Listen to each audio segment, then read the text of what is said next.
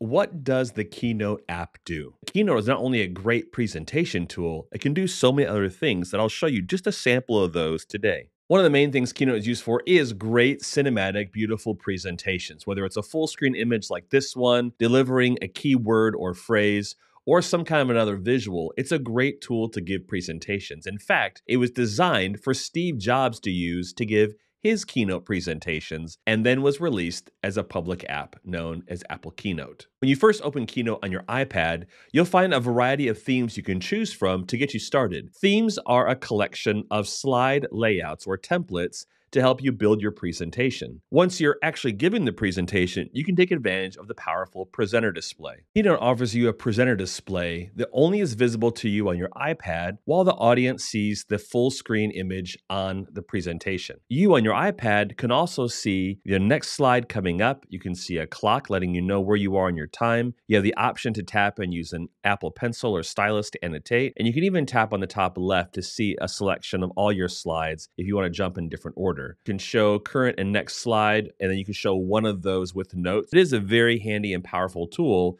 to keep you in control of your presentation. And when you're presenting, it's a great tool to work through the process from start to finish, collaborating with others. Anybody else who has access to Keynote, either through an iPad, a Mac, or the web browser, can actually go on here and edit and develop this presentation alongside of you. So it truly is an effective group project. And then when you're ready to present, you actually can give a multi presenter slideshow. If you're presenting from remote locations or from just different offices, you can each log on to your device and see presenter controls and take over controls while you give the presentation. You also have some great export options with Keynote. You can export your presentation slides as a PDF. You can also export to PowerPoint. A lot of us work with people who work with Microsoft PowerPoint as their presentation presentation tool. You can create a great presentation in Keynote, export it on your iPad in Keynote to PowerPoint, and then your friends who run Microsoft PowerPoint can open up and view that presentation on their computers themselves. You also have the ability to export your presentation as a movie. There's a variety of settings you can adjust to get that video file exactly the way you want it. You also can have fun using Keynote as a fun tool to build animated GIFs. One of the really fun uses for Apple Keynote on iPad is to create your own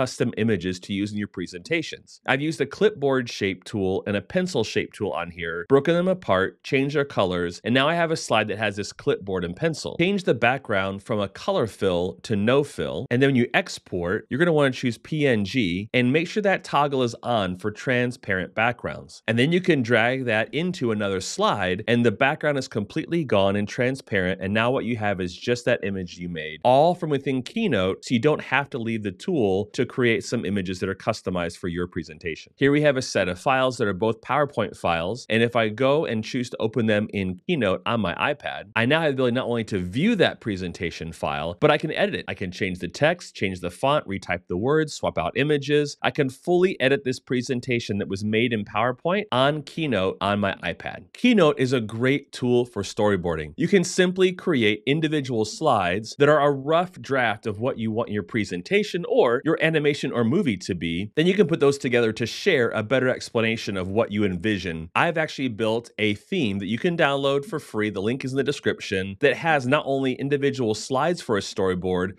but a place for notes, a lot like a company might use making animation or a movie. Keynote was built as a presentation tool, but you also can use it to make documents. The real power with Keynote on iPad comes when you add a stylus like the Apple Pencil. You can draw on your screen whether you're writing math problems for for a class, or you're drawing animation or simply writing words, your handwritten material can show up on your screen because you've written it with your Apple Pencil. You can even make the slides black and change the texture to what they would call a crayon. It has more of a chalk look that would be a fun way to use with a classroom. And you can use the Apple Pencil while you're presenting. You can choose to make it a laser pointer and you can point on your screen and all your audience sees is that laser pointer dot showing up just as if you had a pointer you were putting up in the air, but you have precision control using your Apple Pencil. You also can use it to draw on the screen during a presentation, highlighting specific areas, making annotations, and all of these go away when you go to the next slide, so it's fresh and ready for your next presentation. That's a quick overview of Apple Keynote on iPad. Yes, you can make amazing presentations and you can work back and forth, developing it on your iPad, adding some work on your Mac, and going back and forth until it's done. You can collaborate with others, or if it's just you and all you have is an an iPad, you can create great presentations. Also, great PDFs, GIFs, movies, animations. You can export images with transparent backgrounds. You can do all kinds of creative things. And then you can add in Apple Pencil for handwritten, hand drawn elements unique in your presentation. If you want me to see more examples of what you can do with the Apple Pencil or Keynote on iPad, check out some of the links in the description for other videos I've created. And if you've seen something in this video that you can't find a video tutorial for, let me know in the